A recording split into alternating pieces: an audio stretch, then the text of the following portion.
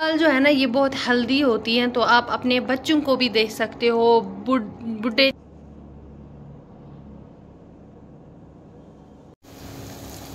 बोलती हूँ दिखाती हूँ उनको कुछ पता नहीं होता है। हाँ, मैं कई बार सवालों का जवाब भी देती हूँ बट उन लोगों ने ब्लॉग नहीं देखा होता है तो ऐसे ही बोलते हैं फिर से फिर रिपीट करते हैं वही बातें। तो हाँ मैं असलम कैसे हो आप सब? आई होप कि आप सब ठीक होंगे। अल्हम्दुलिल्लाह मैं भी ठीक हूँ। Welcome back to my channel and those who are new welcome to my channel तो आज है फ्राइडे सबसे पहले आप सबको फ्राइडे मुबारक। तो आई होप आप सबने बहुत सारी दुआ की होगी सबके लिए और मेरे लिए भी। और अल्लाह आप सबको खुश रखे और आप सबकी तमाम जायज़ मुराद पूरी करे। आमीन या रब। तो जब मैंने लास्ट ब्लॉग डाला था, उसमें मुझे किसी ने कमेंट किया था शॉपिंग का, जो मैंने डाला था कि आपके हस्बैंड ने आपको कुछ भी लेके नहीं दिया। ऐसा कुछ भी नहीं है, मैंने बहुत सारी शॉपिंग की बट मैंने आप सबके साथ शेयर नहीं किया, शायद आपको इसलिए लगा होगा, क्योंकि छोटी मोटी चीज़ें थी, घर की जो ज़रूरत की चीज़ें हैं, वही थी तो इसमें शेयर करना क्या था? वहाँ पे मैंने थोड़ा बहुत दिखाया, जितना मुझे हो सकता था तो इसलिए तो उसके बाद थी लंच की बारी तो यहाँ पे मेरे पास एक लौकी पड़ी हुई थी जो मैंने घर से लाई थी बट अभी तक यूज़ नहीं हुई थी। तो चलो शुक्र है, ख़राब नहीं हुई थी। और फिर मैंने इसके साथ एक टमाटर और दो हरी मिर्चें ऐड की और मैंने लौकी की सब्ज़ी बनाई, खुद के लिए बनानी थी और किसी के लिए नहीं, क्योंकि मैं एक ही होती हूँ।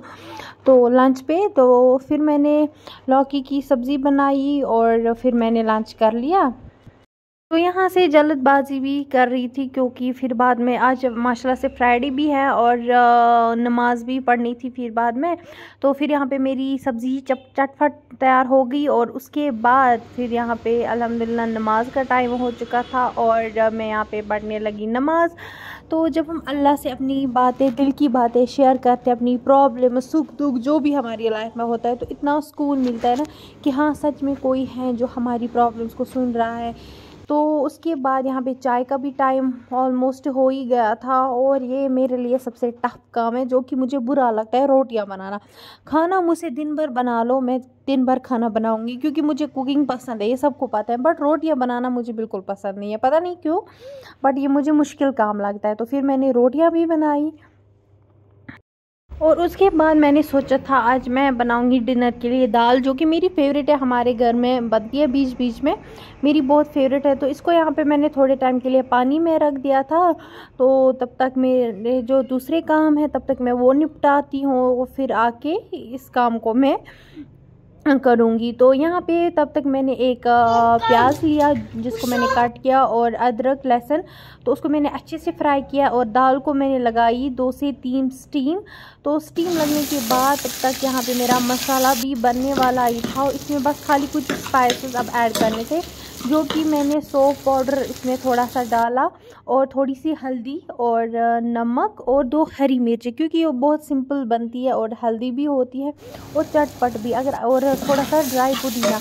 अगर आप लोगों के पास टाइम कम है और आप चाहते हो कुछ अच्छा बने और जल्दी बने तो वो ये दाल है जो कि जल्दी बन जाती है। वैसे मेरी रेसिपी जो होती है ना, थोड़ी चटपट होती है और जल्दी होती है ना?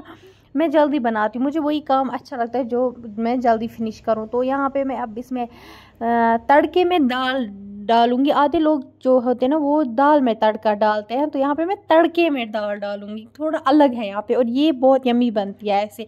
वैसे भी मैंने ट्राई किया था, बट कुछ खास मज़ा नहीं आया। बट ऐसे जो मैं बनाती हूँ ना, सीरियसली मुझे बहुत अच्छा लगता है, बहुत मज़ा आता है। तो ये आप अपने घर में बना सकते हो। अगर आपके घर में बड़े बुज़ुर्ग हैं, बच्चे हैं, या आप खुद खा सकते हो। बहुत हेल्दी है और बहुत टेस्टी भी, आप लाजमी ट्राई करना और बीच बीच में खाया भी करना। दाल जो है ना, ये बहुत हेल्दी होती हैं तो आप अपने बच्चों को भी दे सकते हो, बुढ़े जो आपके घर में बुज़ुर्ग, उनको भी दे सकते हो, खुद भी खा सकते हो सबके लिए बहुत अच्छी है, बहुत हेल्दी है। आई होप कि बहुत सारे लोग बनाते होंगे इसे तो मैं, मेरी ये फेवरेट है, मैं हर फ्राइडे को बनाती हूँ। किसी ने मुझे कमेंट किया था कि आप विशाल मार्ट गई थी। आधे लोग जो होते हैं ना वो व्लॉग नहीं देखते पूरा तो जो मैं बोलती हूँ दिखाती हूँ उनको कुछ पता नहीं होता है। हाँ, मैं कई बार सवालों का जवाब भी देती हूँ बट उन लोगों ने व्लॉग नहीं देखा होता है तो ऐसे ही बोलते हैं फिर से फिर रिपीट करते हैं वही बातें। तो हाँ मैं गई थी विशाल मार्ट। हम कभी कभी जाते हैं पिक एंड चूज़ है विशाल मार्ट क्योंकि वो पास में ही हम ज़्यादा इन दो मार्ट पे जाते हैं और कहीं नहीं जाते हैं।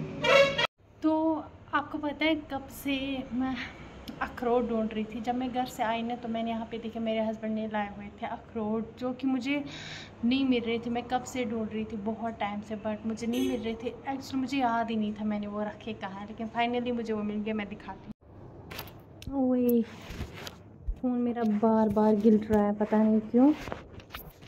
हो जा। अरे भाई, रुक जा।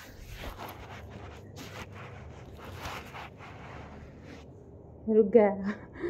तो ये देखिए, जिस दिन मैं आई ना, उस दिन मैंने ये पैकेट देखा था। बट मुझे सीरियसली अभी तक मैं इतना ढूंढ रही थी बट मुझे नहीं मिल रहा था। कब से मैं ढूंढ रही थी?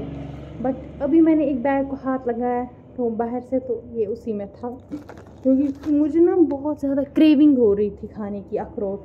तो कभी होता है ना, किसी चीज़ अचानक सडनली कोई चीज़ दिमाग में आता है तो हमें उस चीज़ को खाने की क्रेविंग होती है। तो सेम मेरे साथ भी वैसा ही हुआ। तो इनमें शायद कुछ हैं भी नहीं, इतने क्या हल्के हैं, ये देखिए। तो बस ये था मेरा फ्राइडे का व्लॉग नमाज़ पढ़ के फिर मैं रेस्ट करने गई थी और मैंने रेस्ट किया। अभी मैं उठी, फिर से नमाज़ पढ़ी और अब इस ब्लॉग को एंड करते हैं। आई होप कि आपको ये पसंद आया होगा अगर पसंद आए किसी भी रीज़न से तो प्लीज़ चैनल को सब्सक्राइब करना लाइक करना कमेंट करना और uh, मुझे दुआओं में याद रखना। मिलते हैं नेक्स्ट वीडियो में और आपके जो भी कमेंट्स रहते हैं जो भी सवाल रहते हैं तो प्लीज़ आप कमेंट सेक्शन में बोला करें और मैं रिप्लाई दिया करूँगी। तो चलिए अल्लाह हाफिज़ मैं अपने अखरोट इन्जॉय करती हूँ। मिलते हैं नेक्स्ट ब्लॉग में। चलो शुक्र है अंदर से तो ठीक निकला। उतना भी ठीक नहीं है जितने हमें अपने घर के फ्रेश होते हैं ना, उनमें अलग ही मज़ा होता है बट ये उतना भी ठीक नहीं है बट चल जाएगा